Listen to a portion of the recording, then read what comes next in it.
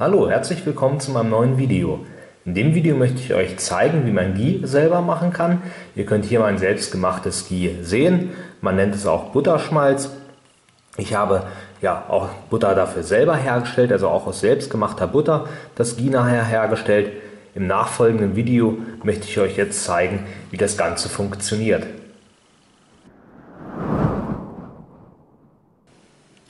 Um das Ghee herzustellen, brauchen wir eigentlich nichts weiteres erstmal als nur Butter. Ich habe hier ganz frische Butter, die habe ich auch selbst zubereitet. Wenn ihr sehen möchtet, wie man Butter selber herstellen könnt, klickt auf den Link, der jetzt hier oben im Video erscheint. Da zeige ich euch das Ganze und wir kommen jetzt hier wieder zum Ghee. Ich zeige euch jetzt, wie ich aus der Butter hier Ghee mache. Dazu gebe ich die Butter einfach in einen Topf hinein und das Ganze müssen wir jetzt erstmal für eine Weile erhitzen. Also die Butter richtig flüssig machen.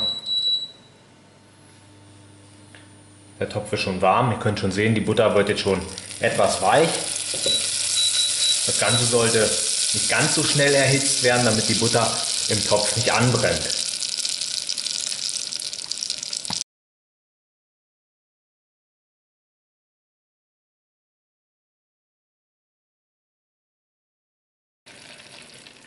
Wenn die Butter dann komplett geschmolzen ist, den Topf auf mittlerer Stufe weiter köcheln lassen und ihr könnt jetzt schon sehen, dass sich hier das Eiweiß absetzt von unserer Butter und nur noch Butterfett überbleibt. Und das müssen wir jetzt gelegentlich abschöpfen. Das Ganze müssen wir so lange machen, bis ja kein Schaum mehr überbleibt, wirklich nur noch das reine Butterfett da ist.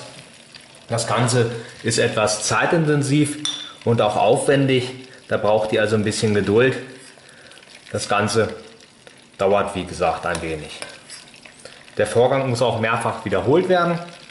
Das heißt, es reicht also nicht, wenn ich es jetzt einmal abgeschöpft habe, dass ich dann fertig bin, sondern wie gesagt, der Vorgang muss mehrfach wiederholt werden.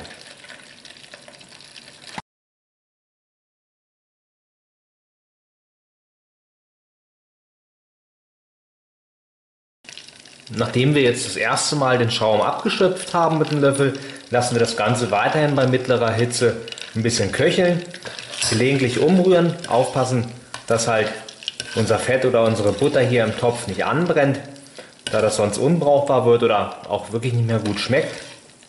Und ähm, ja, wenn wir das jetzt köcheln lassen, ihr könnt das schon wieder sehen, hier entsteht schon wieder neuer Schaum, auch den müssen wir dann gleich natürlich wieder abschöpfen.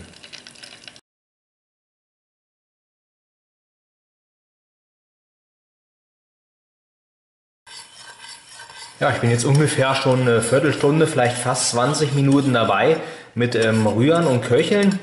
Ich habe jetzt schon dreimal das Eiweiß oder den Schaum abgeschöpft hier aus meiner Butter oder von meinem werdenden Ghee. Das braucht ihr übrigens nicht wegschmeißen, ähm, den Schaum, den könnt ihr noch zum Braten verwenden, also das braucht man nicht entsorgen. Und ja, so langsam bildet sich jetzt kein neuer Schaum mehr, das heißt es müsste jetzt fertig sein und ich kann das Ganze dann in ein geeignetes Gefäß umfüllen und dann ja, auskühlen lassen. Als Behälter nehme ich ein ganz normales Einmachglas. Ich habe hier mit einem Gummiband ein Zebertuch oder eine Küchenrolle drum gewickelt. Das Ganze dient jetzt nochmal als Filter, um so ein bisschen die ja, leichten dunklen Stückchen hier auch rauszufiltern und auch vielleicht nochmal um den letzten ja, Eiweißschaum auch rauszufiltern. Ich werde das Ganze jetzt hier abkippen, filtern und danach muss das Ganze dann halt nur noch auskühlen.